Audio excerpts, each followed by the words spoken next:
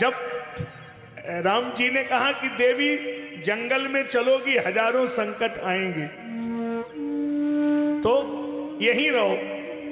माई बोली, हमें चलना है। देखो, संकट आएँगे, माई बोली, हमें मालूम है।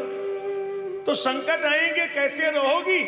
माई ने कहा, राघव, जिसके साथ में स्वयं भगवान श्री राम जी जा रहे हो, वहाँ कोई संकट नहीं आएगा। तो प्रभु मुस्कराए माई ने कहा, राघव, क्या मैंने कुछ गलत बोला? नहीं। तो आप मुस्कराए, मैं समझ नहीं पा रही हूँ। कहा, देवी, हम तुम्हें वचन दे रहे हैं। तुम कह रही हो, जब राम साथ में है तो संकट नहीं आएगा। देवी, हम तुम्हें वचन दे रहे हैं। जब तक तुम्हें राम सुंदर लगेगा, कोई संकट नहीं आएगा। लेकिन जब राम से ज़्यादा कोई और सुंदर लगेगा उसी दिन संकट आएगा। तो जब तक राम जी सुंदर लगे, संकट नहीं आया। और हिरण की चाम सुंदर लगी, संकट उपस्थित हो गया। जब परमात्मा से ज़्यादा संसार में कोई वस्तु, संसार का कोई व्यक्ति उनसे ज़्यादा सुंदर लगने लगे तो संकट को निमंत्रण दिया जा रहा है।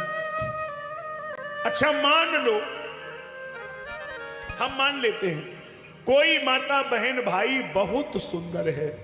मान लो उसकी सुंदरता में अट्रैक्शन है, उसकी सुंदरता आपके ऊपर अटैक करती है, ज़बरदस्ती मजबूर करती है देखने को।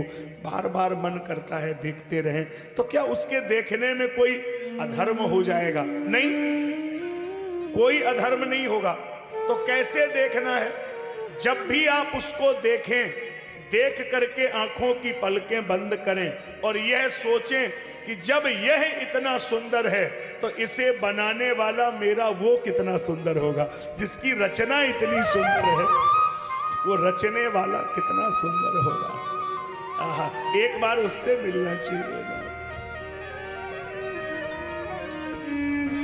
क्या बात है साहब। एक ही भगवान, देवता मोहनी में देख रहे हैं और दैत्य मोहनी को देख रहे ऐसे नहीं, जरा भाषा सुनो।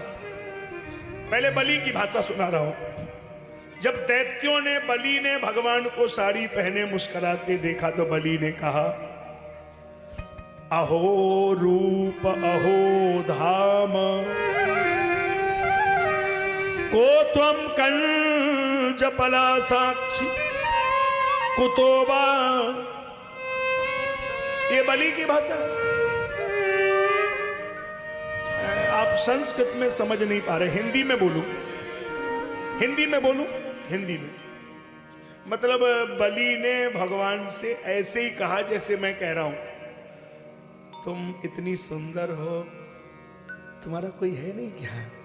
भगवान बोले, हमारा कोई नहीं, हम तो लावारिस बलि ने कहा, इतनी सुंदर हो तो तुम किसी को अपना बनाओ। भगवान बोले हाँ चाहती तो है कि कोई मेरा, लेकिन मेरा कोई बनता ही नहीं है।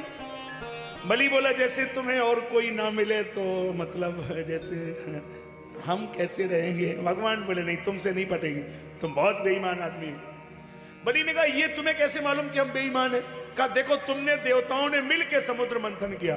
और ये कलश अकेले लाने की ज़रूरत थी? अरे, बंटवारा करना चाहिए। बेईमान आदमी हो?